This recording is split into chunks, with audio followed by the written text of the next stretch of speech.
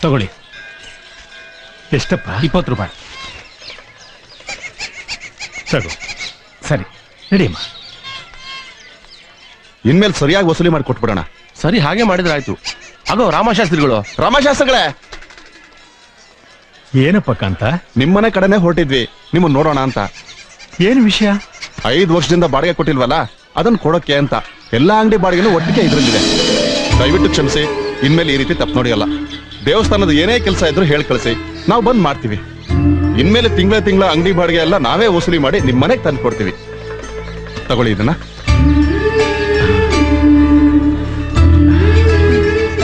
ದೇವ್ರು ನಿಮಗೆ ಒಳ್ಳೇದು ಮಾಡ್ಲಪ್ಪ. ಬರ್ತೀನಿ.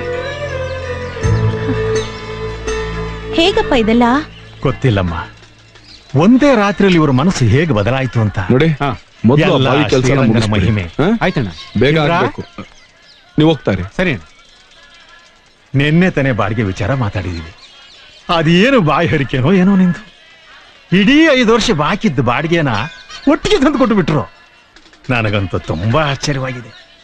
ಇನ್ನು ಮೇಲೆ ದೇವಸ್ಥಾನದ ಯಾವುದೇ ಕೆಲಸದ ಬಗ್ಗೆ ತಲೆ ಕೆಡಿಸ್ಕೊಳ್ಳೋದು ಬೇಡ. ಎಲ್ಲ ಕೆಲಸನೂ ಅದ್ದೂರಿಯಾಗಿ ಮಾಡೋಣ. ಬಂದೆ.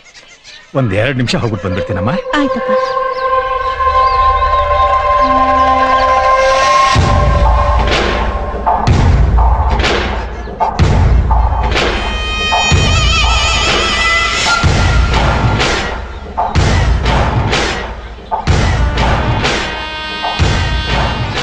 ಯಾರವರು? ಯಾರು? ಆ ಕಾರ್ ಹತ್ರ ಇರೋರು. ಗೊತ್ತಿಲ್ಲ.